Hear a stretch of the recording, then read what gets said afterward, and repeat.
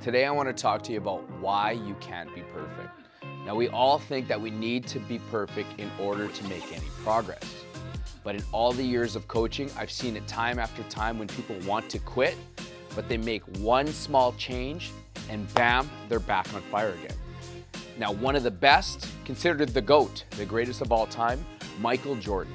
His shooting percentage was a mere 43%. That means that he's missed six shots in order to make four. Yet, he's one of the richest and most successful athletes of all time. Imagine somebody told you that 40% of the time you're going to be right. And but you're going to be amazing. You're going to be great. A lot of people would quit with just the thought of weighing 43% right, but 60% wrong. So what does that tell you? That we're not going to be successful all the time.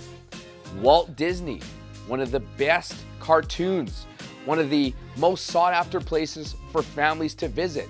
Did you know that he actually lost two studios and went completely bankrupt before he created Disney? Did he quit after he went bankrupt the first time?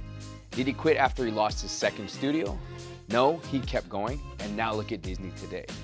Did you know that Oprah Winfrey, she was actually pegged too ugly. Those were the exact words that I read. She was too ugly to be on TV and that she belonged only on the radio. Now look at her. You get a couch, you get a car, you get a TV. She's one of the most famous faces on TV today. So life is ranked on a curve. Some days you're gonna be up, some days you're gonna be down. But what is your overall number at the end? They say that life's about peaks and life's about valleys. So if you're in a quitting phase and if you feel like you are not surviving or you are winning, you might just be in a valley. But there's going to be a peak soon. So don't quit because quitting is probably too soon. Just because you have a bad day, which could potentially turn into a bad week, it doesn't mean that we give up on the month.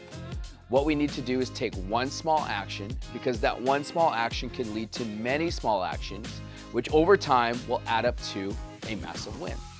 Because something is always better than nothing.